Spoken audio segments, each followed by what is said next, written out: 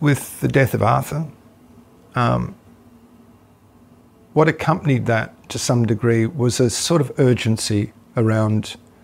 being able to work out a way to articulate the way I felt about these matters. If I didn't talk about it, and if I wasn't, if I didn't open up about it and talk freely about these sorts of things, the opposite would happen, and I, and I would turn in on myself and and just uh, harden around the absence of my child. Learning how to talk about it, for me at least, had a significant uh, impact on uh, moving me forward and, and out of the darkness.